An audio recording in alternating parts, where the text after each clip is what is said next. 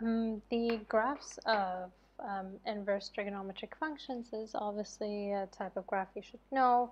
Um, I'll be doing an example on how to extract the cos inverse or arc cos and then the similar process follows for sine inverse and tan inverse and then I'm going to just wrap it up with uh, all the properties you should know regarding the domain and range. So um, what I have here is the cosine function, so cos of x within 2 pi, so we have this um, uh, this uh, graph, so this is common.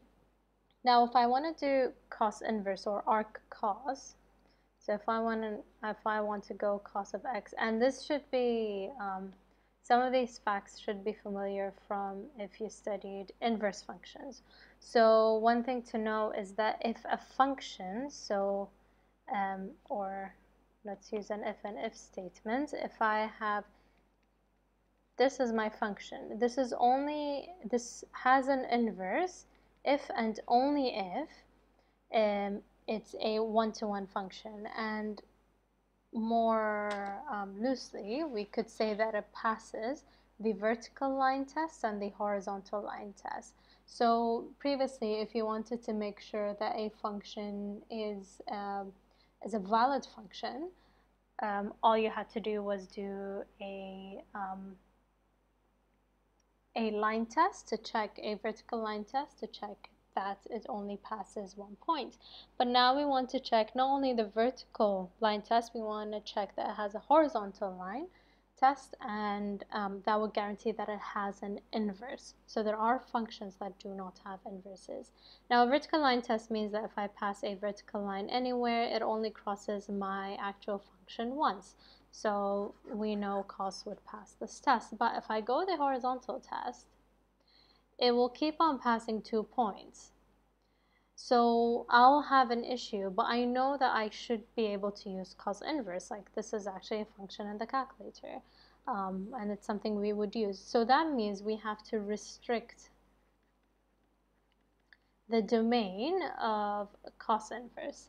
And we can restrict it by restricting the, sorry, we can restrict the domain of cos x, and hence we would able to construct a proper cosine inverse of x. So notice how it always crosses the second point as soon as it crosses this pi point.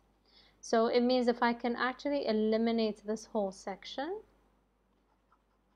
so if I can eliminate anything after pi, I will have a valid um, I will have a valid cosine function that has a valid inverse.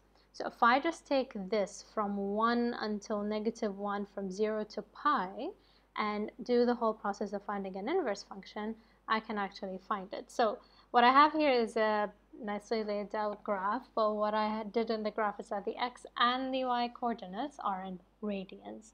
Um, but I know, let me graph my cosine function. So my cosine, I've also outlined where 0 and 1 and 1, 0 are. It's just going to be helpful. Um, so what I'm going to do is take my 1 here.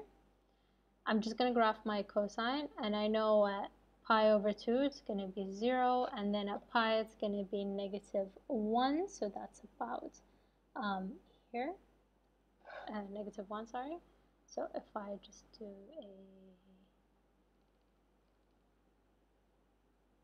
so what I want to do now, now that I've restricted my domain, what I want to do is find the inverse of this. Now, there's a quick way of finding the inverse, and that's by actually um, reflecting your sketch on a y equals to x uh, line. So if I go and draw a y equals to x, I'm just going to do a very thin line so it goes here. And what you essentially want to do is reflect everything. Um, and you could do that um, roughly, but um, let's start with actually highlighting some coordinates we could use. So I know that it's 0, 1 here. Um, sorry, not 0, 1. It's, yeah, it's 0, 1 here.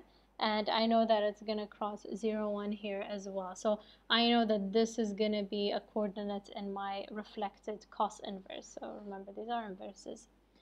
Um, I also have that as pi over 2, 0 is a coordinate, which means if I flip it over, it's going to be 0, pi over 2. Um, we could you could you could highlight as many points as you want and identify where the function can uh, will reflect. Um, so this sort of behavior up until here will reflect down here. So we have something like this for this section of the line. And then this line will reflect above and go and cross here.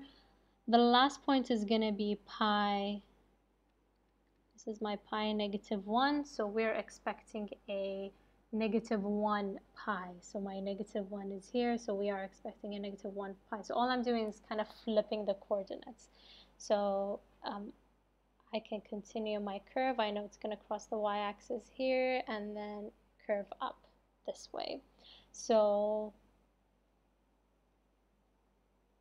Um, so this is my cos inverse function and all I'm using is facts that I know about inverse functions. So more clearly, this is what it would look like. So switching the colors, the blue is my cos inverse and my green is my cos. So we have, as you can see, it's completely reflected, but we had to first restrict the domain or else it won't be a proper function. So in general, this is what you get for inverse trigonometric functions. This has been taken from um, the IB book from um, Haese and you have inverse trigonometric functions. So if I look at the cos that we have here, y equals to arc cos, um, the definition is basically x is equal to cos of y. So this is just extra information, but the, the, the domain is negative 1 to 1. As you can see, it goes from a negative 1, this was our negative 1, and this is our 1. So this blue line is only defined from negative 1 to 1. And the range goes from 0 to pi. So we have, it starts from 0 and goes up until pi. And it's very different for each of the other trigonometric functions, and it's all because of how um, you restrict the domain initially. So you can easily try the same exercise with sine and the same thing with tan.